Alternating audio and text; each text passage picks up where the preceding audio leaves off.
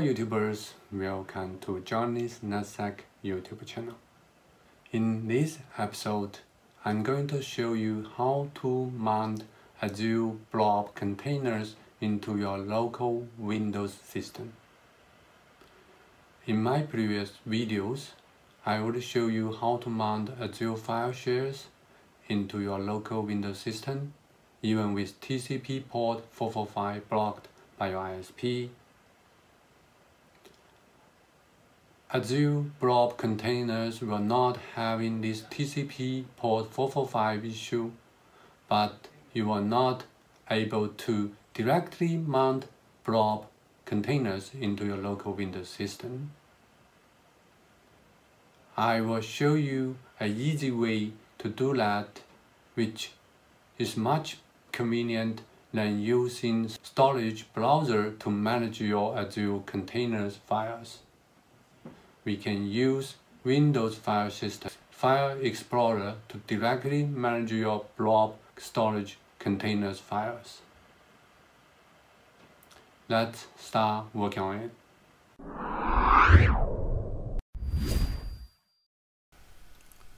To mount blob storage to your local Windows, there are a couple steps we need to follow. There's some prerequisites which I put here also five steps to mount the blob to your local Windows folder. So we're gonna follow those steps one by one. I'm gonna walk you through them and you will find it's pretty easy to do.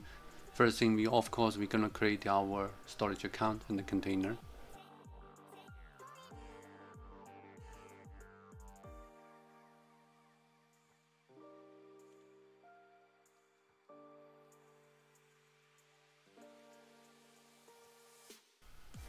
While we are waiting the storage account to be created, we can uh, work on the, the third prerequisite, which is install a Windows package management program called Chocolatey. I'm using Windows 10 in my VMware workstation for testing purpose. You can search Chocolatey install, which will bring you to chocolatey.org install page. You need to verify your execution policy. So what we can do is we can quickly copy them and run it from your PowerShell command with administrator privilege. Set up policy, then copy this PowerShell command then you can easily install Chocolatey into your environment, which will be used to install all other required software like rclone, WinFSP, and NSSM. Our storage account has been created. Go to resource. We're gonna create a container here. Let's call it test blob 1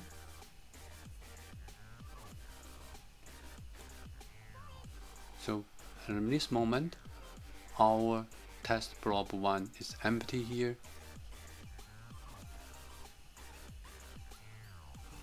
We need to put test mount 1 blob our storage account name here for our next step. Just when we need it we can directly copy it from our notepad to the configuration page. And we need also need storage account access key which you can find from access key page. Copy any one of them keys. Again those key and account name storage account name will be used in our configuration. So I'm just copying here to make our life easier in next steps. The third prerequisite already been completed. We installed it into our VMware workstation. Now we're gonna follow next five steps to complete this mounting blob to local Windows folder lab. First thing we need to install rclone. That's simple with chocolatey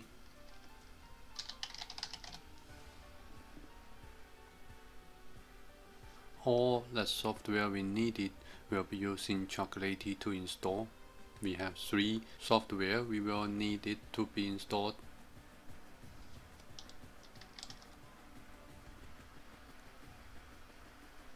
rclone is the first one.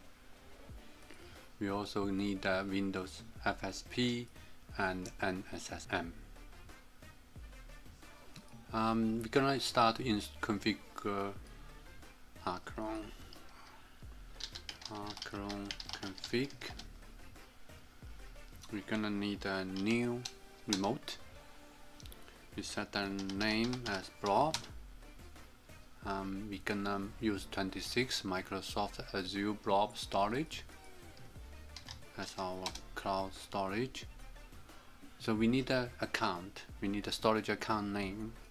Of course we already have it create one called test mount one blob for service principal file press enter now we need key.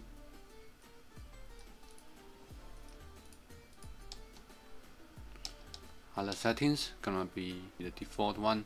Uh, we don't need to add it advanced config so let's do no and yes this is okay. We save it and quit from here so the configuration has been completed just need two parameters. One is storage account name, one is access key. Now we need to verify if rclone is able to see this blob containers folder.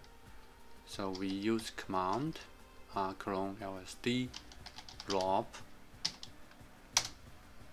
So yes, able to see the container test blob 1 on the storage account.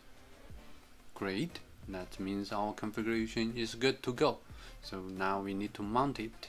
Before we can mount it, as we can see from the steps, we need to install WinFSP, Windows File System Proxy. To install it, same thing, chocolatey install a couple of seconds, this software gonna be installed. After that, we're gonna use command to mount it so now we're gonna using rclone mount command to mount this test blob 1 container into local folder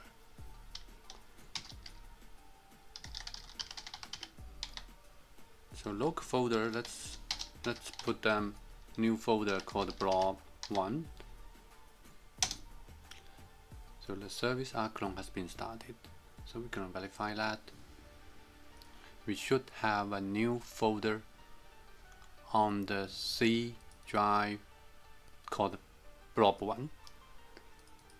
As you can see, blob1 has nothing in it, not a folder, not a file. So we're gonna create a test1 folder or maybe another one test2 folder. And then go back to our test mount one blob storage account and we're gonna use in storage browser to see if we can find out those new created folder. So we go to blob container to browse into the new added container test blob 1 as you can see right now there's no folders. The reason why because they are not showing those empty folder to you. You have to put something under those test1 test2 folder. So to make this more clear so we're gonna create new file here. So only test1 test1 file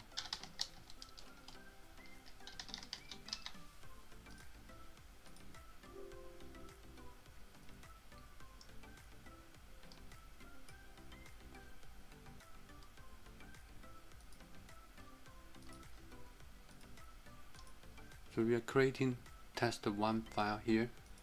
Let's go back, refresh,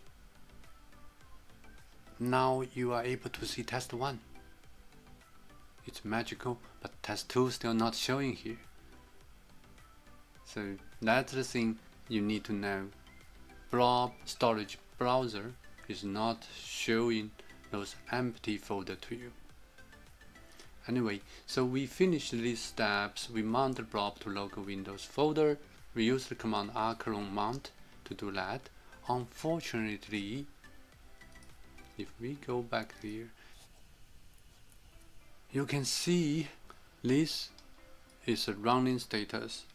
If you stop this command, the file share will be gone. They will not survive a reboot, unfortunately.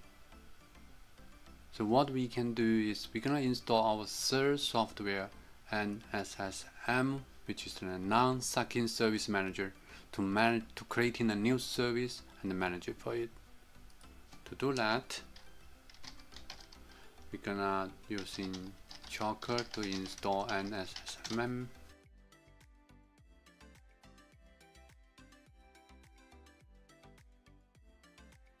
you can see all NSM command. We're gonna install a new service. We call it blob mount service. It will open an NSSM service installer uh, window. So we're gonna put our command, our, rclone command here.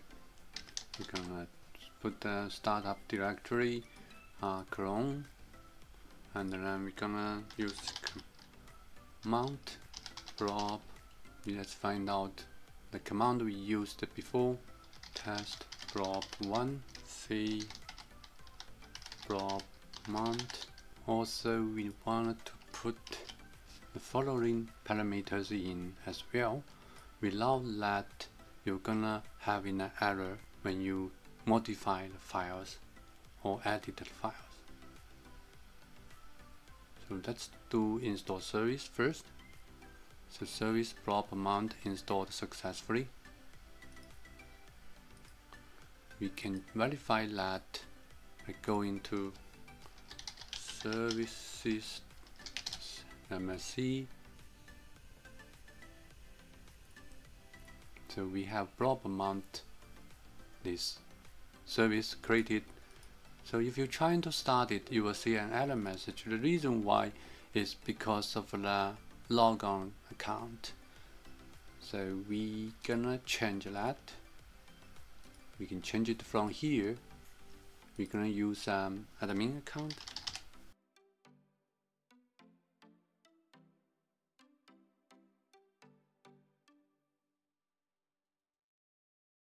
Let's uh, stop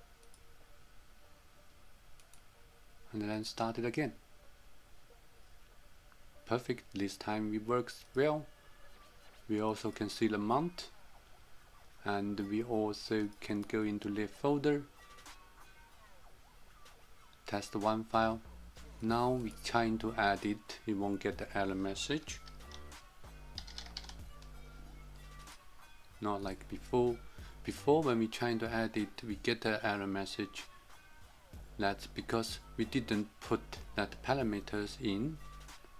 So if if you let's go back to here edit service.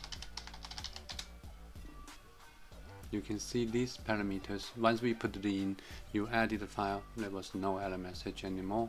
And the logon we're gonna use admin account. So all will be good. And you can boot your machine and then this mount will be still staying there.